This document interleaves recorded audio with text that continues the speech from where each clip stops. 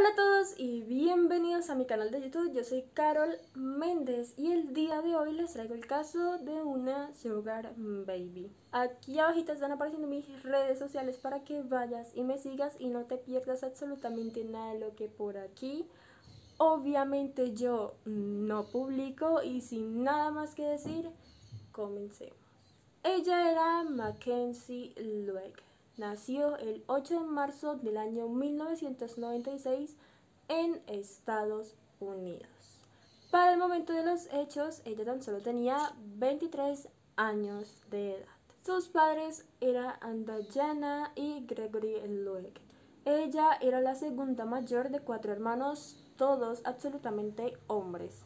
Todas las personas que la conocían decían que era una muy buena mujer, muy buena estudiante, era divertida, alegre, le encantaba pasar su tiempo libre en la playa. Igualmente toda su familia era mormona. Para el año 2014 Mackenzie terminó todos sus estudios y decidió irse a vivir sola para poder independizarse de su familia en Carolina del Norte. Pero esto aquí no duró muchísimo tiempo ya que ella entró a la universidad a estudiar kinesiología y preenfermería en Utah. Antes de los hechos, Mackenzie se había descargado varias aplicaciones para encontrar una cita, un chico que quizás le llegara a gustar. Pero lo curioso de estas aplicaciones es que no era como normalmente las que vemos para citas, obviamente también se pueden prestar para muchas cosas, pero ella buscaba diferentes cosas. Este era un sitio dedicado únicamente a unir parejas de Sugar Baby con Sugar Daddy, igualmente con mujeres u hombres. Obviamente estos, la mayoría son gente de mucho dinero y también, seamos realistas, no vas a conseguir el hombre más joven. La mayoría son de 40 años en adelante. Y entonces un día Mackenzie conoce a Ayola Ayahi, un hombre nigeriano de 31 años de edad que se fue a vivir a Utah, migró a Utah para poder conseguir trabajo.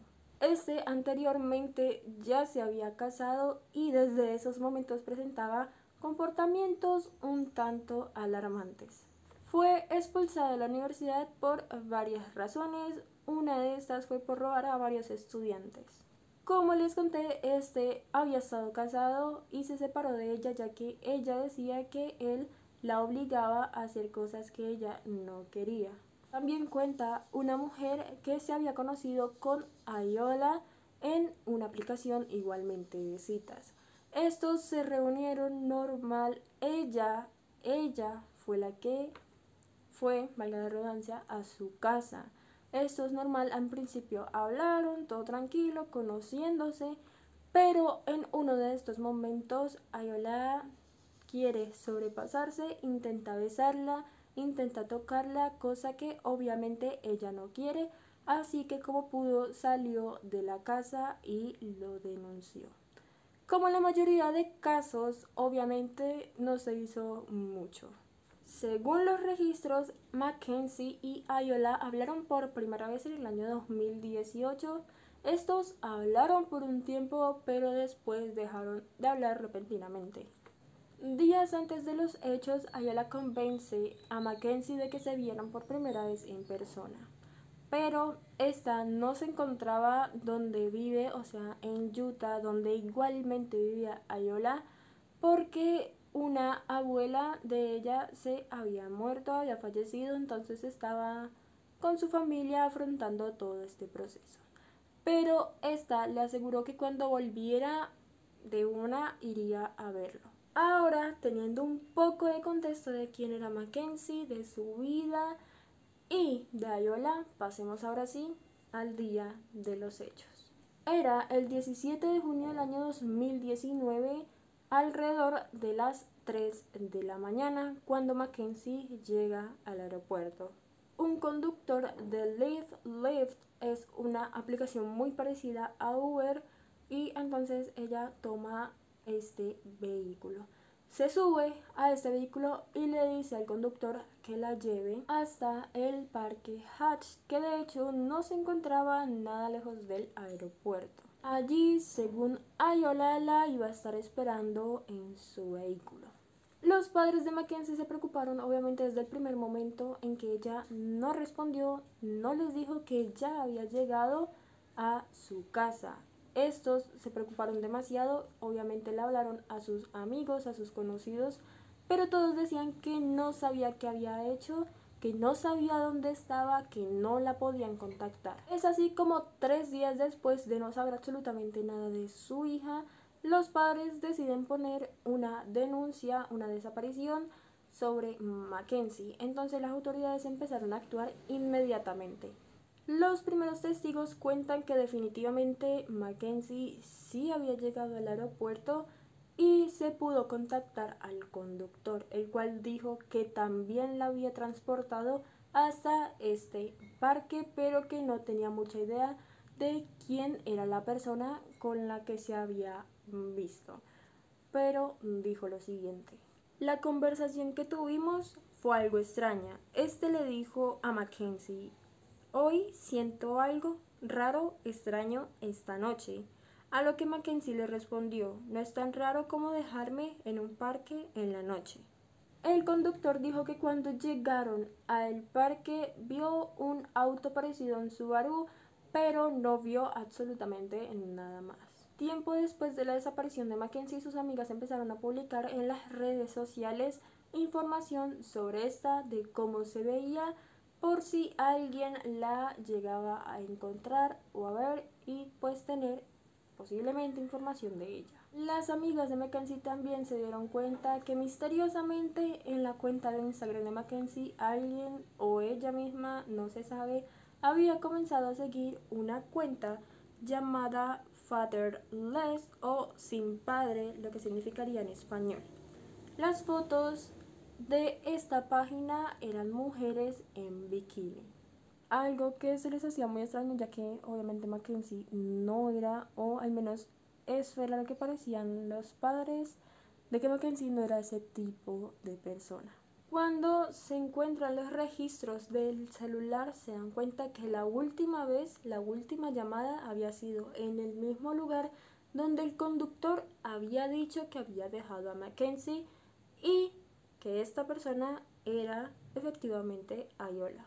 Aparte de esto, tenían testimonios de vecinos que decían que de la vivienda de Ayola venía un olor bastante extraño, fuerte y misterioso. Decían incluso que Ayola había dejado quemando algo. Con esta información, obviamente las autoridades se dirigen a la casa, a la vivienda de Ayola, donde es interrogado, bueno, no digamos interrogado, sino que le habían preguntado ya que este pues no tenían nada en contra de él, no sabían si él realmente había hecho algo, simplemente era una persona de interés. Entonces las autoridades se dirigen, le preguntan, este no da mucha información, dice que se habían visto, pero pues nada extraño. Ella fue por su parte y después él por la otra. Sin embargo, ocho días después de que estos fueron a preguntar, o sea, 11 días después de la desaparición, él solito, él mismo fue hasta la estación y confesó absolutamente todo. Según Ayola, llevó ese día a Mackenzie a su casa, donde él ya había planeado absolutamente todo de cómo iba a asesinarla. Este, obviamente, obviamente fue inteligente, apagó sus cámaras para evitar registros de que Mackenzie había estado allí. Este cuenta que la ató de pies y manos a una silla y empezó a golpearla, maltratarla y la estranguló hasta que la asesinó. Después de esto la enterró en el patio de su casa y quemó su ropa. Horas más tarde intentó quemar el cuerpo, que es lo que los vecinos habían olido, es extraño, pero, pero con esto no logró absolutamente nada. También cuenta que después de la primera entrevista, de las preguntas que le hicieron, obviamente él ya era un sospechoso, Así que él decidió desenterrar el cuerpo de Mackenzie que estaba en su patio y lo llevó hasta el Gran Cañón para deshacerse del cuerpo. Entonces, obviamente las autoridades se dirigieron al lugar, al Gran Cañón, donde les había dicho a Yola que se encontraba el cuerpo de Mackenzie. Estos efectivamente fueron y encontraron el cuerpo o lo que quedaba del cuerpo de Mackenzie, ya que algunos restos seguían en la casa de este. Este confesó absolutamente todo, él dijo todo lo que había hecho, pero sin dar tantos detalles. Llega entonces así octubre del año 2020, o sea, absolutamente nada de tiempo. Este no intentó defenderse, pues era muy obvio lo que había hecho, además de que él fue a decir, a entregarse y pues obviamente no había razón para defenderse y se declara culpable.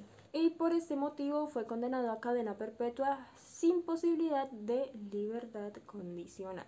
Aparte de esto salió algo curioso y es que un contratista cuenta de que Ayola lo intentó convencer, contratar, de que creara una habitación en el sótano de su casa para supuestamente escuchar música a alto volumen y tomar.